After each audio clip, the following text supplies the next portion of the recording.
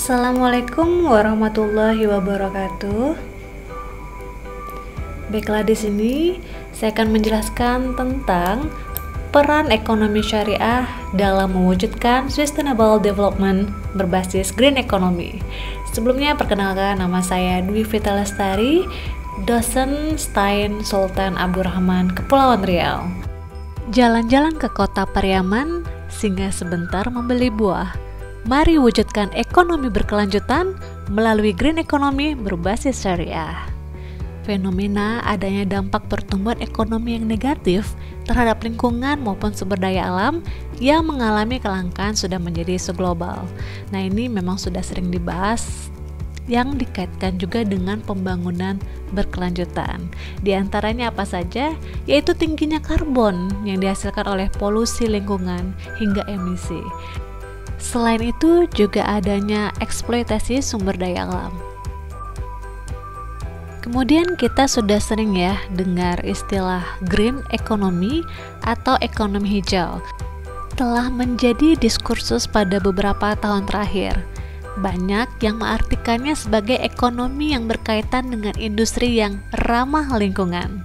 Nah, untuk lebih spesifik, terminologi dari green economy menurut United Nations Environment Program dalam PBB mengatakan Green economy sebagai konsep ekonomi yang memiliki kemampuan dalam menaikkan tingkat kesejahteraan serta keadilan sosial. Jadi low carbon, socially inclusive, dan resource evasions menjadi tiga hal yang diperhatikan dalam konsep ekonomi hijau. Yang menjadi pertanyaannya adalah apa alasan timbul green economy? Konsep ekonomi hijau ini muncul karena adanya perilaku manusia yang cenderung kepada profit oriented bila dibandingkan dengan sustainable oriented. Ekonomi dengan mengikuti keadaan sekarang yang dituntut serba cepat. Jika ditelisik dari perspektif ekonomi syariah, problematika tersebut memiliki kesesuaian dengan prinsip Makosyid al-Syariah.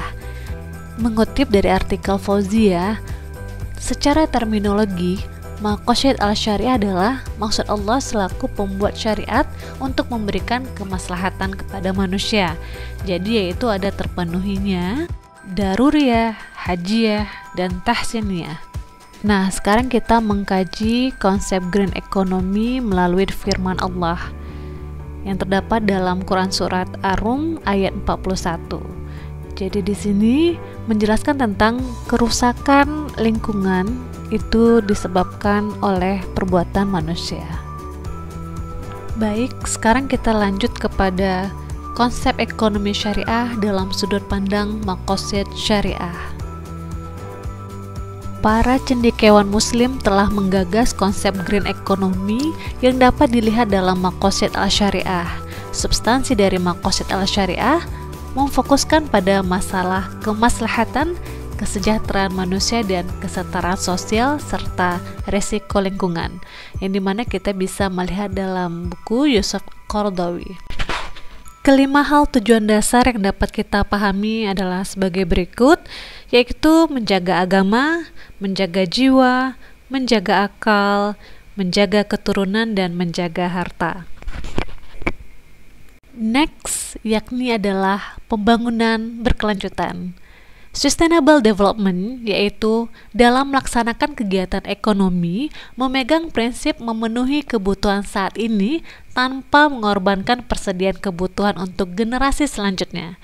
Jadi ada empat nilai penting di antaranya yakni keberlangsungan ekonomi, kelestarian lingkungan, kelestarian sosial, dan pembangunan berkelanjutan.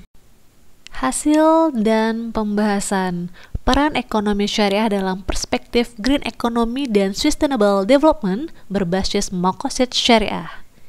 Dalam Islam, pembangunan berkelanjutan dapat selaras dengan nilai-nilai yang ada dalam makosid syariah.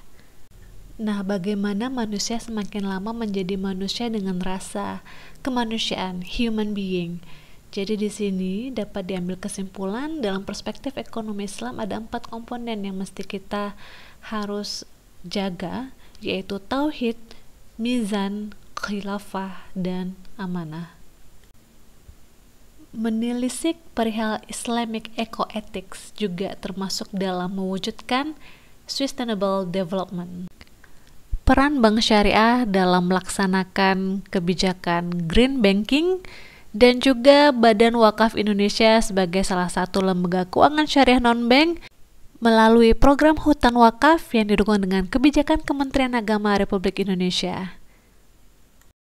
Hasilnya adalah ekonomi syariah memiliki konsep yang selaras dengan green economy maupun sustainable development, memaknai makosid syariah dan harus diimplementasikan dengan bijak oleh sumber daya insani. Baiklah, terima kasih. Mohon maaf. Wabillahi taufik walhidayah. Wassalamualaikum warahmatullahi wabarakatuh.